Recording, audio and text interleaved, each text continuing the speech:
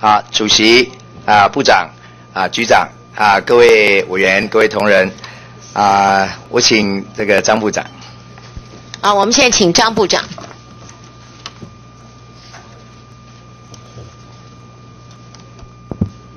喂，好，好，部长好，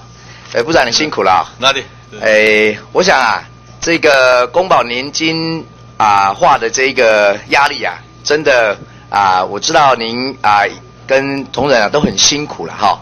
但是啊，整个啊为了是什么？大家那么辛苦，为的是要让整个啊公务人员哈退休的这个制度能够上轨道。那包括包括我们说私校这些教育人员。因为我在上一次我们吕昭伟办的协商会里面，我也提过，我也是啊，虽然说我曾经是私校的东吴大学，但现在虽然是公立啊这个大学的教师，但是当时的同事他们也有告诉我说啊，整个对私校的教育的人员的这样的一个退休的呃一个一个啊制度啊给付啊啊一定要能够公平。那么，但是我当时我也啊强调哈。那么，对于啊私校等啊这种呃整个啊从公保转做哎从劳保转做公保，这是一个历史性的问题哈，这是一个历史性问题。那对现在的失校教师，其实他们是没得选择，因为他们前辈已经帮他们选择了。那本席在这里要向部长这边哈来问几个问题啊。那第一个要探究的是说啊，当我们现在的把啊，现有的公保的年金的制度定下去以后，好，那其中呢有两类，哦，两类。虽然说全世界来讲，哈，可能只有中华民国目前是把这个年金化的制度分为两类，但是如果这两类的重点又是在于说，啊，这个啊选择啊一次退的啊能够被分到乙类，好，那么是不是又回到过去私校的前辈？帮帮私校的这个退抚的制度啊，把它从劳保转回到公保来。那现有的这个制度一旦选定下去以后啊，如果没有一个完备的公平性，那届时啊，其他的公务人员啊，被分到甲类的公务人员，是不是又会回到私校的啊现有的教师的这样子一个一个困境？说部长，请你。我的意思就是说，如果假说是按照零点六五的话，我们现在绝大部分，因为实际上我们现在。公保准备金的被保险人一共就是五十九万人，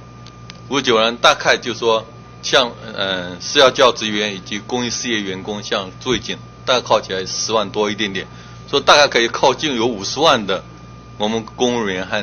和和公立学院的教育人员，那这些人会不会引起什么？引仅仅引起不同意见。我想大部分五十五十多万人哈，我想应该是啊，尤其像甲类的部分哈，哎哎乙类的部分，乙类的部分哈啊有有啊这个啊应该是多半是能够满足的哈。那包括甲类的四十六万的公务人员，我想部长大概您也清楚，他们都是满足的了哈。我们跟我们也举办过中谈座谈会，也跟他们也沟沟通过，绝大部分他们可以接受，都是可以接受哈。对。但是现在。在外面的一群人就是不满足的了哈，国营事业的没有错，交通部的还是交通部所属的国营事业哈。那么本席在这里要强调的是说，当今天我们定定一个所谓的一个啊公平的一个公保啊年金的一个法的时候啊，一定要站在一个长长久久。这也就是说，当我们今天翻到哈这个全序部所提供出来的资料，也就是部长您念之在之的，就是说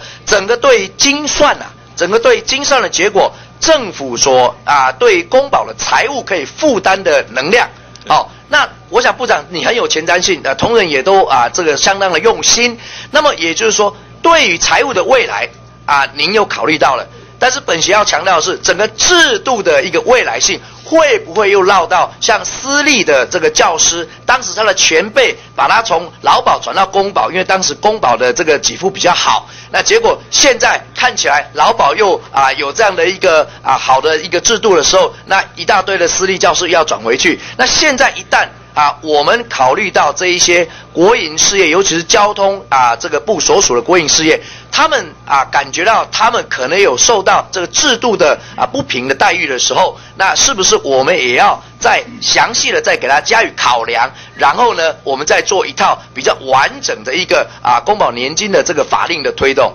嗯，我想我很建议啊，实际上刚刚我也提的，就是说，第一个私校部分，实际上跟他们充分沟通。实际上，我跟私校的有关负责人，现在私立学校，他们原则上都可以接受一点三。没错。当然，他们的希望都，当然他们理想希望跟劳保一样提高到一点五，不过一点三，实际上他们就需要法赶快通过，赶快实施。绝大部分私校应该可以接受的。现在就有国营事业，就交只有交通部的国营事业。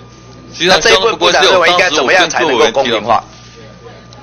因为实际上，刚才交通部交通部的呃人事处林处长他已经说明，像这些有关邮政局像这些人员，他现在目前支领退休金的现在的各种情况，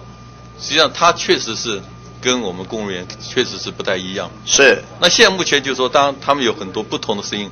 我想这个责任还是在行政院、我们全序部以及交通部，我们还跟他们再继续协商。没错，我刚刚。协商的话，就是能不能协商出出一个共识？对，能不能找出第三个途径？哎，第三个途径是不是要用这种方法？哈，本席倒未必了哈，认同哈。刚刚我记得我们潘维刚潘昭伟哦，他有提醒部长，是不是在用什么样子的方式哈，能够去做更好的啊调试？两类啊，已经是全世界里面算比较复杂的公保年金法了哈。那如果要分第三类、第四类、第五类？恐怕会更复杂。不过呢，啊，本席也认为啊，既然啊，我们啊，全序部也也给他精算过了哈。现在有两类了，对。是，如果能够在这个公保财务上这个表格，我们稍微再去做一点思考，哦，以现有如果从零点六 percent 一直到零呃一点五五 percent 这样整体的公保财务的这个呃精算。好，那政府所要增加的保费的负担，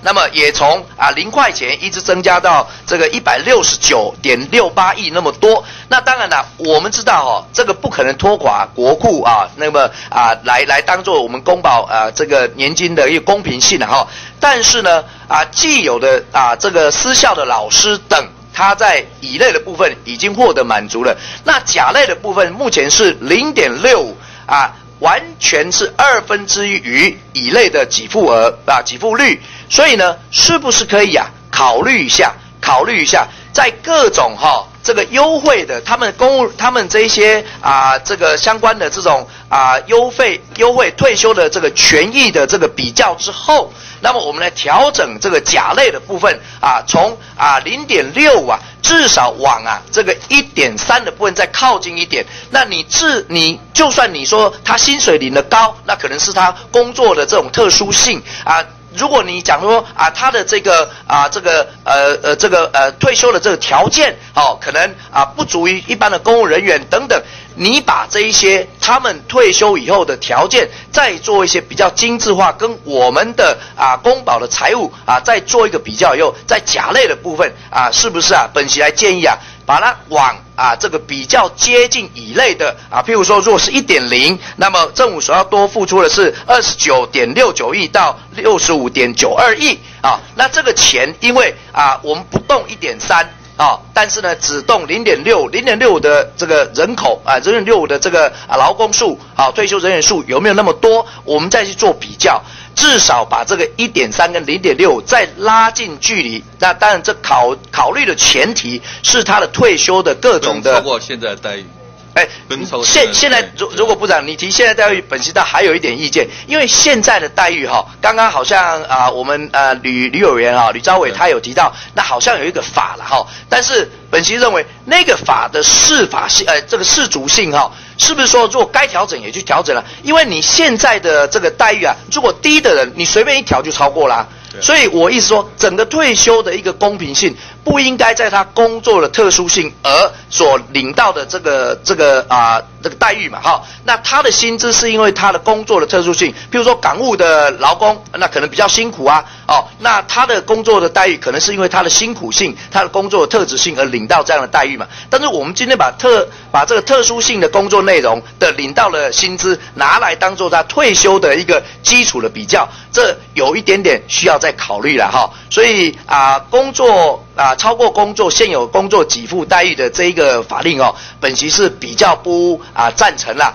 但是不管怎么说呢，部长啊，既然我们在这里哈、花了那么多时间，部长跟同仁都那么辛苦，好、那么我是不是啊能够再强调啊，在一个公平性上再多做一点考虑，好、然后再来给整个法令来通过啊，可能是比较好的。好、那至于怎么做，我相信啊，部长这个刚刚啊，我们江委员说，哎其实你年纪不大哦，虽然你也是我的长辈了，但是我觉得你的头脑、哦、绝对是还很伶俐的哈、所以多用一点脑筋，再来想想看。哦，部长加油啊、好谢谢。谢谢。